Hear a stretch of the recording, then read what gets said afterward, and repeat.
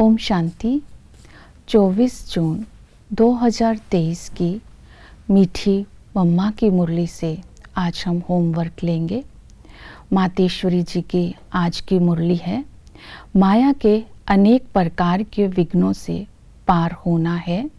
तो checking power से अपने आप को सावधान रखो और संभल कर चलो। इसी मुरली से आज हम लक्ष्य लेंगे। माया जीत बनकर भविष्य, अपना भविष्य ऊंच बनाना है। तो माया जीत बनने के लिए मम्मा ने बहुत सारी विधियाँ बताई हैं। पहली है निश्चय बुद्धि। हमें निश्चय है कि इसी जन्म में हमें बदलना है।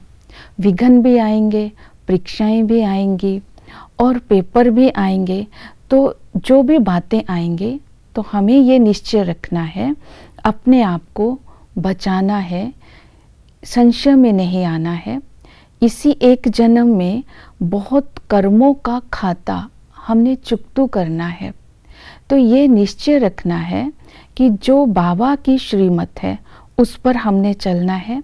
बाबा हमें इस समय पढ़ा रहे हैं, हम अपनी तकदीर बना रहे हैं।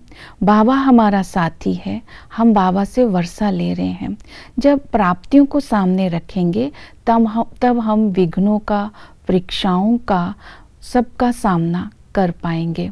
दूसरी विधि बताई नॉलेजफुल बन करके चलना। तो बाबा ने कहा, इस समय तुम्हें बाप ने ये श्रेष्ठ कर्मों की नॉलेज दी है, क्योंकि हमारे कर्मों की नॉलेज भी बाप के पास है। इसी समय बाबा ने हमें बताया है कौन से कर्म से, कौन सा कर्म करने से तकदीर बिगड़ती है और कौन सा कर्म करने से हमारी तकदीर संवरती है? कर्मों की गुहिया गति क्या है? ये सब हमें इस समय बाप ने नॉलेज दी है। तो बाप की इस नॉलेज को जब हम बुद्धि में रखेंगे और माया के आते भी माया को फेस कर हिलेंगे नहीं, तब हम बाप से पूरा पूरा अधिकार ले सकेंगे। इसके लिए हिम्मत और भरोसे का बल चाहिए, क्योंकि जो भी स्वभाव संस्कार के टकराव आते हैं तो हमें इस समय समझ है कि ये भी हिसाब किताब है। तो इस हिसाब किताब को याद से चुकतू करना है, अर्थात याद से काटना है। अगर हम टक्कर खाएँगे तो फिर हमारा हिसाब किताब बन जाएगा। तो इसको चुकतू करने की जो विधि बाबा ने बताई है, आज मम्मा ने समझाई है, उसमें ये बताया है कि चुकतू करने के लिए हमें अपने अंदर दूसरों के प्रति शुभ भावना रखनी है।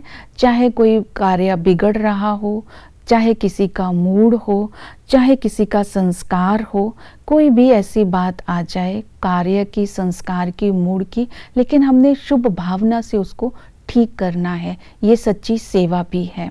तो माया पर जीत पाने के लिए बाबा ने कहा, मम्मा ने कहा, आज चार्ट रखना है, याद का चार्ट रखना है, सर्विस का चार्ट रखना है और दिनचर्या का चार्ट रखना है। फिर मम्मा ने कहा, अपने खाते को बढ़ाना है। खाते को बढ़ाने की जो विधि बताई, तन, मन, धन समय को माया से सेव कर फिक्स डिपॉजिट करना है। अर्थात ईश्वरीय कार्य में लगाना है। ईश्वरीय कार्य में लगाना अर्थात इंश्योर करना है, जिससे हमारा भविष्य ऊंच बन जाएगा। तो इसी तरह जमा करने की दूसरी विधि बताई, याद। उस बिंदु बाप को बिंदु समझ करके जब हम याद करेंगे तो एक सेकंड में बीती बातों पर बिंदु लगा देंगे, तब हमारा खाता जमा होता, तब हम पद्मों की कमाई जमा करते जाएँगे। इस तरह बाप की याद से भी हम अपना खाता जमा कर सकते हैं। माया पर जीत पाने के लिए स्मृति रहे, हम रूहानी वॉरियर्स हैं। बाप भी गुप्त है, विकार भी गुप्त है और हमारी लड़ाई भी गुप्त है। बाप भी गुप्त रूप से हमें, हमारे अंदर बल भर रहा है, जिससे हम माया पर जीत पाते हैं। तो आज मम्मा ने कहा, धारणाओं में रह करके माया पर जीत पानी है। जिस तरफ़ से धारणा कम होगी, माया वहाँ से ही एंटर करके हमें हरा देगी। इसलिए माया जीत बनने के लिए योग का बल जमा करना है। चेकिंग पावर के द्वारा अपने आप अंदर विल पावर रखनी है और संभल कर चलना है। तो इस निश्चय और याद और नॉलेज इसके आधार पर हम अपनी चेकिंग भी कर सकते हैं। तो आज मम्मा ने कहा कि माया का आने का कारण ही देह अभिमान है। देह अभिमान के कारण क्रोध की, लोभ की, मोह की गोली लग जाती है, जिससे हम माया से हार खर ले, खा लेते हैं। तो अनेक प्रकार की उल्टी बातें बुद्धि में आने जा, आ जाती हैं तो हम संशय बुद्धि बन जाते हैं। तो इसीलिए अपनी चेकिंग करके और विल पावर से अपने आप को चेंज करना है। तो संशय की बातें जो आती है, जो मम्मा ने कहा, जैसे बाबा के हम बनते हैं तो बिज़नेस में घाटा भी पड़ेगा और धन की कमी भी होगी। और मित्र संबंधी भी बोलना बंद कर देंगे, संकल्प विकल्प भी चलेंगे। ऐसे ऐसे उल्टी बातें अंदर चलती, चलेंगी। लेकिन जब हमें निश्चय होगा, बाबा की याद होगी नॉलेजफुल होंगे, तब हम हिलेंगे नहीं। और कभी कभी ये भी बात बुद्धि में आएगी भगवान है या नहीं? भगवान कहीं हमारे साथ नाराज़ तो नहीं हो गया? तो ऐसी बातें भी आएँगी।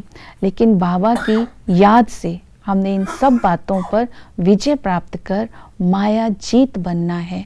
आज ये बातें आज मम्मा ने हमें समझाई है, ये टिप्स हमें दिए हैं। ओम शांति।